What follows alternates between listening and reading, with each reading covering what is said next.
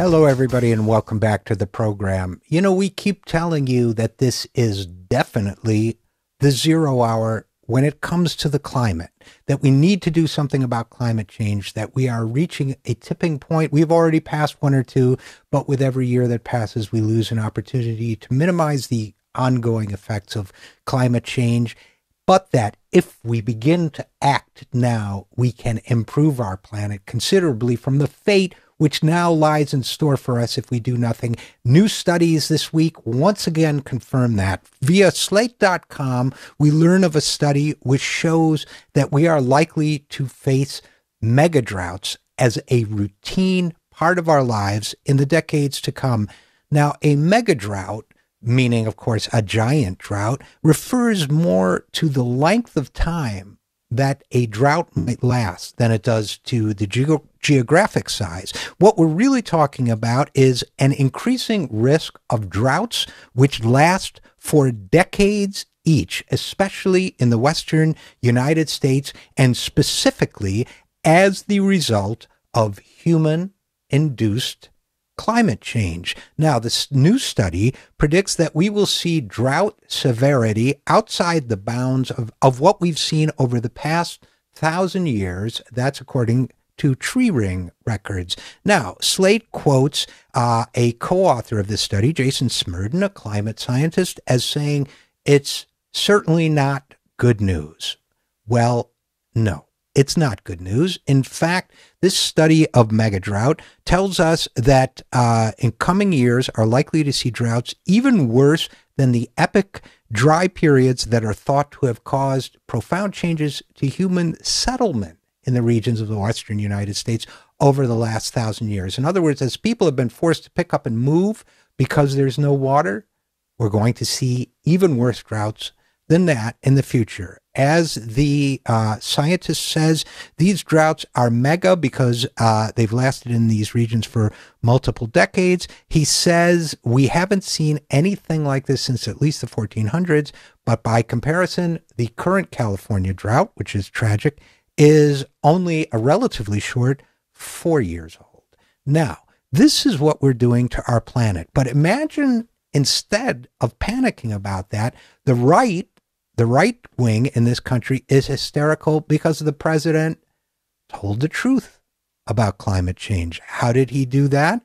President Obama had an interview with Ezra Klein in Vox, and uh, he was asked whether the media sometimes overstates the risks posed by terrorism when compared to things like global warming and epidemic disease. Now, the president responded ab- absolutely. As Josh Voorhees, the writer, points out, he is entirely correct. One study su- suggested that as many as 400,000 people per year are dying as the indirect result of climate change. Now, that's due to droughts, that's due to starvation, that's due to disease, and so on.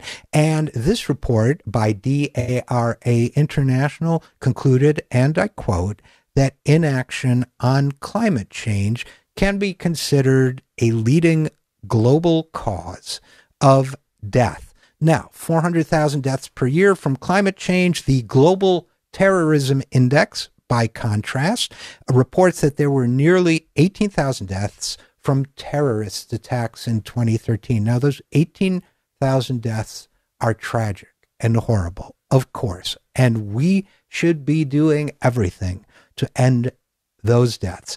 But with our national obsession about terrorism, we are doing and saying very little, especially on the right, about the tragic deaths caused by climate change. Instead, they prefer to pretend as if climate change doesn't even exist. It's not like they're not doing anything about what's changing in our world. However, we learned from Raw Story that a legislator in Georgia, a Republican legislator, has introduced a bill which he says would ban the mixing of human and jellyfish embryos. That's right.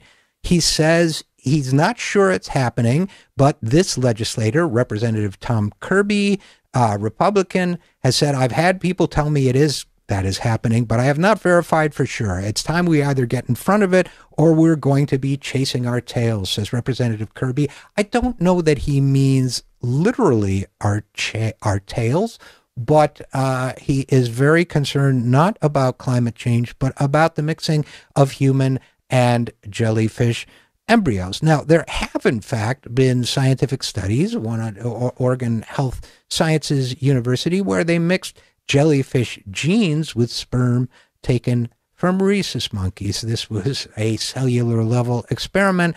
I don't think that anyone is really worried about the possibilities of a human jellyfish hybrid, except perhaps people who might like to write new episodes of The X Files. However, what we have is a political discourse that's focused on terrorism and not on climate change. And when they they on the Republican side do get around to worrying about the future, they are worried about jellyfish that walk and talk like men.